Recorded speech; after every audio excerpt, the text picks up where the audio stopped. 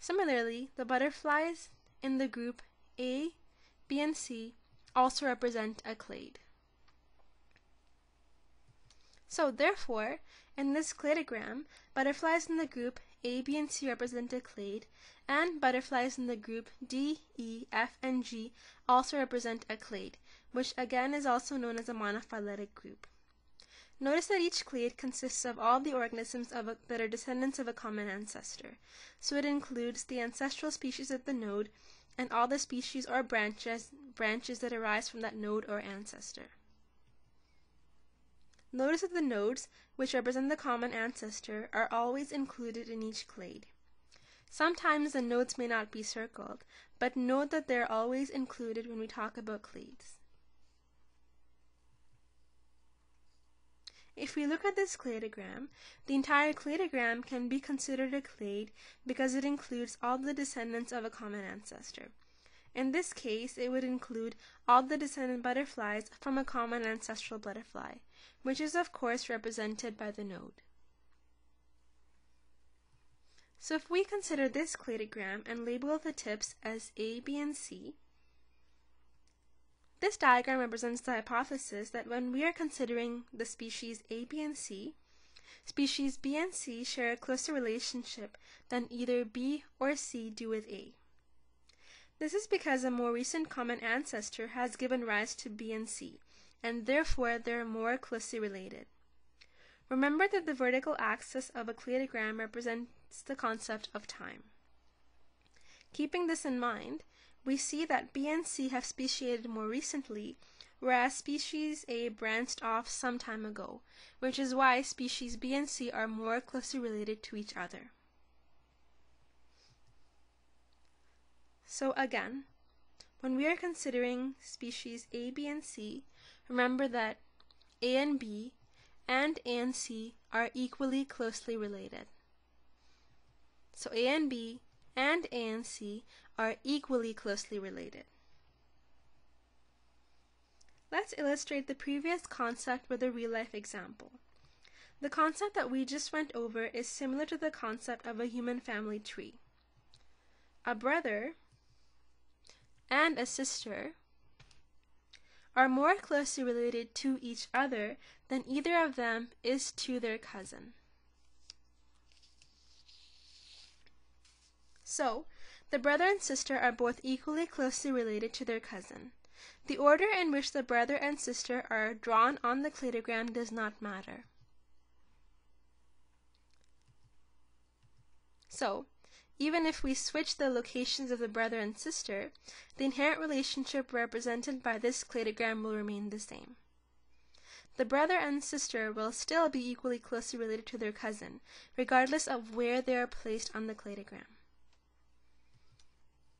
So remember this. A is as closely related to B as it is to C. Therefore, if we are looking at both of these phylogenetic trees, we will see that they are both equivalent regardless of the arrangement of the letters B and C. Even though the branches may rotate, the underlying branching relationships do not change. Okay, so let's now try a self-test. The following six questions will test some of the content presented in this animation. Each question will pause briefly before revealing the answer.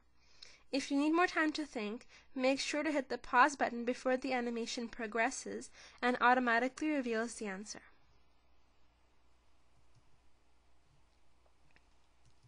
Question number one. What is the purpose of phylogenetics? A. To describe the tree of life.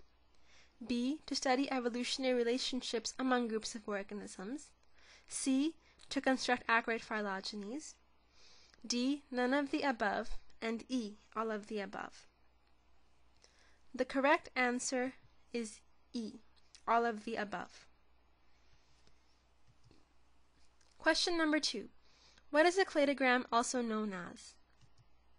A. Spiderweb B. Genetic tree C. Phylogenetic tree D. Cladophylogeny or E. None of the above. The correct answer is C phylogenetic tree. Note that cladophylogeny is not even a real word. Question number three. Identify the labeled parts of the following cladogram. A, B, and C.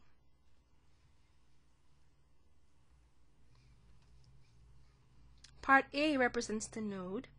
Part B represents the basal node because it is the lowest node on this phylogenetic tree. And part C represents a branch. Question number 4. Which of the following groups represent a clade, also known as a monophyletic group? Option A is species A, B, and C. Option B is species D, E, and F. Option C is species D, E, F, and G. Option D is species A, B, and D. Option E are both options A and B. Option F is both options A and C. And option G is all of the above.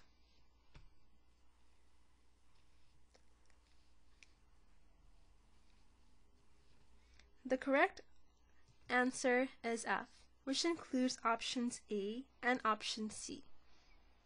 Option A included the species A, B, and C, and option C included the species D, E, F, and G. Remember that a clade is a group of organisms composed of an ancestor and all of its descendants. So in this cladogram, a, B, and C comprise one clade, and the species D, E, F, and G comprise a second clade. So therefore, both of these are clades or monophyletic groups.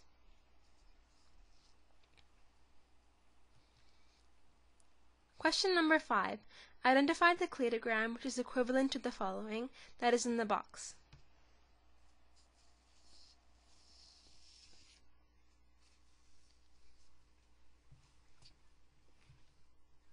Make sure to look at all the letters and see which ones are switched and when the actual branching relationships remain the same.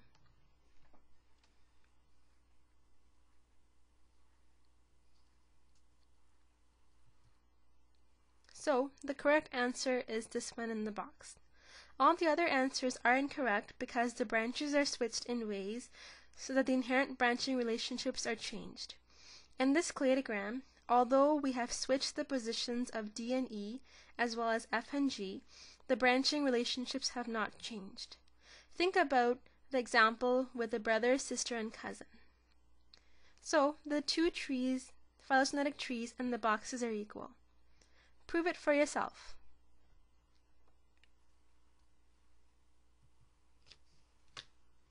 Question number 6. How many clades can you find in this cladogram?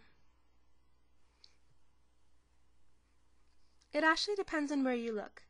Keep in mind that trees can be nested within trees. Try to find as many as you can. And identify the basal nodes while you're at it. Here's a hint. There are more than three clades.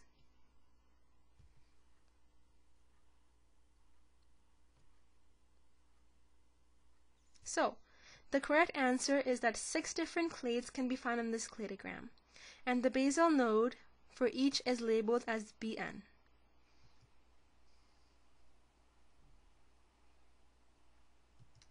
So here's the first clade.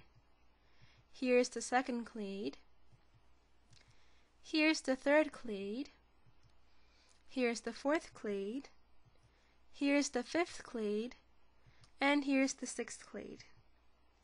So again, six different clades can be found on this cladogram.